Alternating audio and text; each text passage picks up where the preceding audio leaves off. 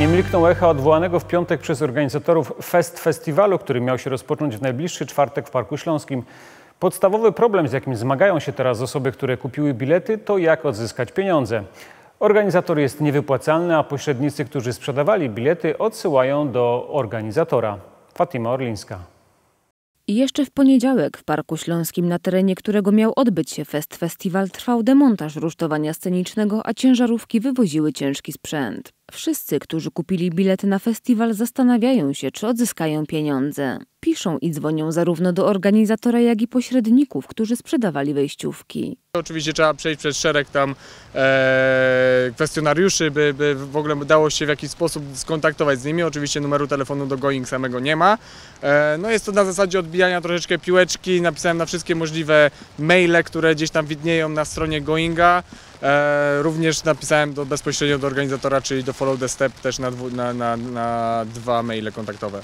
Wiadomości pozostają bez odpowiedzi. W podobnej sytuacji są tysiące osób, które próbują zwrócić bilety i odzyskać swoje pieniądze. Niedoszli uczestnicy festiwalu wskazują na brak komunikacji z pośrednikami sprzedaży i niejasne zasady dotyczące zwrotów. Niektóre platformy internetowe zwracają pieniądze za bilety, inne nie. Jestem trochę zaskoczony e, całą tą sytuacją i właśnie tym przerzuceniem odpowiedzialności na, na inne tutaj podmioty, bo tak naprawdę z tego oświadczenia e, tutaj Festa wynika, że no każdy jest tak naprawdę winny tylko, tylko nie oni, tak, bo mówią, że po prostu za mała frekwencja, e, za niski tutaj e, pułap sprzedaży biletów, no kurczę, no tak naprawdę to oni odpowiadają za ten cały line-up i, i tak naprawdę no przerzucają odpowiedzialność na, na każdego. Organizatorzy Fest Festiwalu w swoim oficjalnym oświadczeniu skarżą się na rosnące wciąż wydatki i jak można rozumieć nieprzychylność województwa śląskiego i przekazanie terenu przez Park Śląski z opóźnieniem. Prezes parku do czasu spotkania z organizatorami nie komentuje sprawy. Wszyscy posiadający bilety mogą ubiegać się o zwrot środków. Niestety w obecnej sytuacji zmuszeni zostaliśmy do uruchomienia postępowania upadłościowego, co uniemożliwia na ten moment wypłatę jakichkolwiek należności przez spółkę. To dziś jedyna droga, która umożliwia nam rozliczenie się z organizacji festiwalu. Wszystkie osoby posiadające bilety otrzymają wkrótce na skrzynki mailowe informacje z dalszymi komunikatami w sprawie zwrotu środków za bilety. Z czym może być problem, gdyż spółka poinformowała o swojej niewypłacalności. Na złożenie wniosku o upadłość spółka Fest Festival ma 30 dni. Następnie wniosek ten rozpatruje sąd, co może potrwać nawet kilka miesięcy.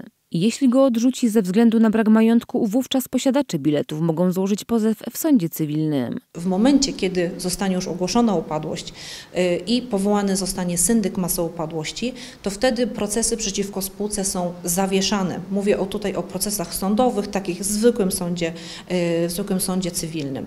Y, I otwiera się dla przyszłych, no niedoszłych w zasadzie uczestników festiwalu, otwiera się droga do zgłoszenia swoich wierzytelności do masoupadłości. W następnej kolejności przeanalizuje je syndyk, a dalej sukcesywnie będzie wypłacać należności, jeśli oczywiście będzie z czego. Biorąc pod uwagę kapitał zakładowy spółki oraz listę potencjalnych wierzycieli, posiadacze biletów mogą mieć poważne trudności z odzyskaniem swoich pieniędzy.